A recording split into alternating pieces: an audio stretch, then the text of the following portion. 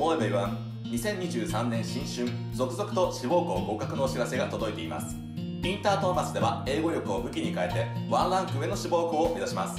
次は君の番。受験を優に進めるためにも今すぐ英語を始めよう。One step ahead.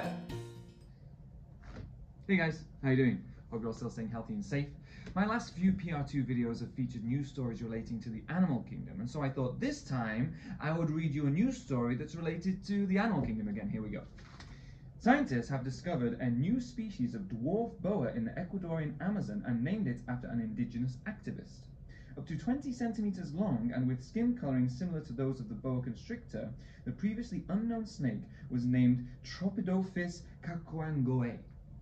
The second part of the name honors early 20th century indigenous rights activist Dolores Cacuango, according to Ecuador's Environment Ministry. The species is unusual for having a vestigial pelvis, characteristic of primitive snakes, and taken as evidence by some that snakes descended from lizards that lost their limbs over millions of years ago.